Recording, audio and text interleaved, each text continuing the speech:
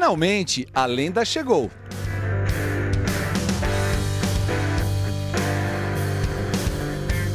E agora, à nossa disposição,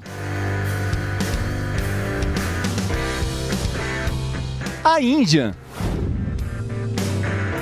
Nos Estados Unidos, no ano de 1901, Carl Oscar Handstrom, um jovem imigrante sueco, engenheiro e construtor de bicicletas de competição, se une ao empresário George Handy e fundam uma fábrica de pequenas motos de apenas um cilindro, pouco mais que bicicletas, batizadas de Indian.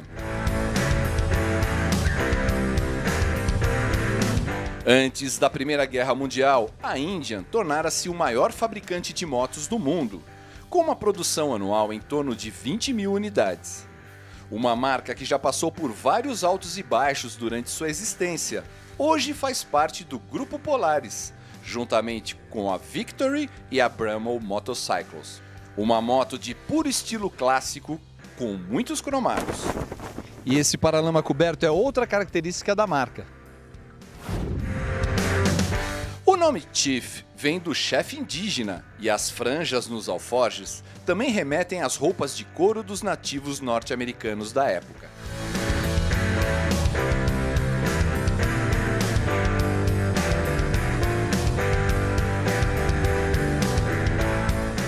A Indian foi a primeira motocicleta a apresentar um motor V-twin em série.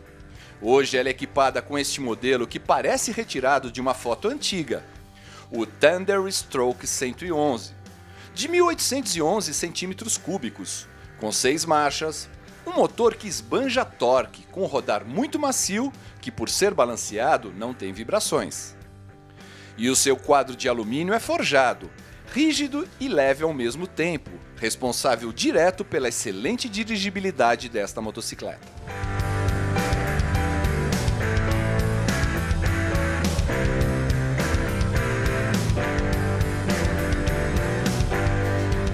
Seu design foi inspirado nos antigos modelos da marca, mas com toda a tecnologia moderna e conforto que merece. Acelerador sem cabo tipo fly-by-wire, escapes com tratamento cerâmico, freios ABS, fiação oculta no guidão, suspensão traseira monoamortecida e lanterna com LEDs. Nuno, essa é uma moto clássica, mas o desempenho dela é antigo? Não, não tem nada a ver com, com o desempenho antigo.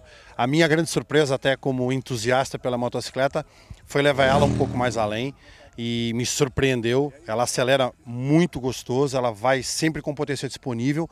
A capacidade de frenagem é impressionante, tem freio a disco é, flutuante, uma coisa que não é comum ver nessa motocicleta. E o chassi de alumínio forjado é algo de extraordinário.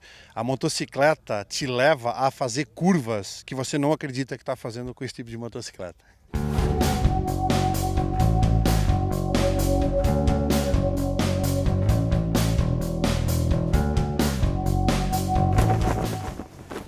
Tite, quais as suas impressões sobre a moto? Bom, o que eu fiquei bem impressionado é que apesar de um visual antigo, que ela tem visual clássico, né, vintage, a tecnologia dela é muito moderna. É um motor que vibra pouco, é bem elástico, confortável de andar e tem um freio que não é normal para a categoria dela. Muito bom.